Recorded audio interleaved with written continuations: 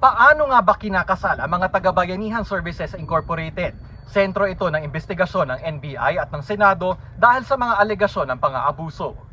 Gabi ng pag-ibig ang nakasulat sa entablado sa video na ito na nakuha ng NBI. Kita ang pagpapares ng mga binatilyo at dalagita sa loob umano ng SBSI. Luluhod ang lalaki na may alok na bulaklak. Maghahalikan sila at magpapasalamat sa leader nilang si Senyor Aguila na nagkasal umano sa kanila. Si Senyor Aguila raw ang nagpapare sa mga kapwa minor de edad o sa nakatatanda at bawal ang tumanggi. Bawal daw kasi maging member ang mga outsider sa SBSI, kaya ang naging solusyon ay ikasal ang mga miyembro para sila ay magkaanak at dumami. Bawal ang mga relasyong bakla at lesbiana sa bundok at sila raw ang inunang ikasal para maging ehemplo sa iba.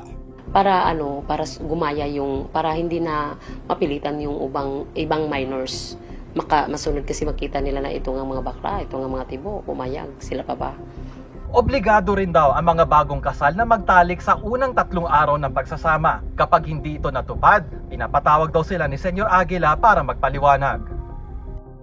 Ang biktimang si Rambo, hinikayat umano ni Senyor Aguila na gahasain ang kanyang lesbianang asawa.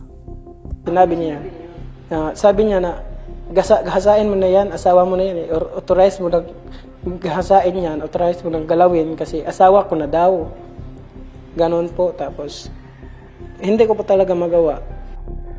Ayon sa mga testigo, ang mga ayaw makipagtalik sa kanilang asawa ay dinadala sa masukal na bahagi ng bundok kung saan ang parusa ay manirahan sa isang kubo mula isa hanggang apat na buwan. Tulad ni Rambo, tumakas ang ilang mga biktima mula sa SBSI para iwasang maikasal.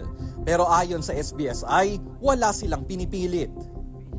And sir, yung binabato sa amin ay parang kaming lahat ay dito ay mga mapsasama. Wala na kaming ma, ano, magawa kundi ang Sa unang tala ng DOJ, labing siyamang kinasal na kabataan sa mga nakatatanda. Ayon sa ilang biktima, hindi nila masisi ang kanilang magulang na kuminsinti dahil naging normal na ang kasalan at rape sa SBSI. Anong masasabi niyo rito?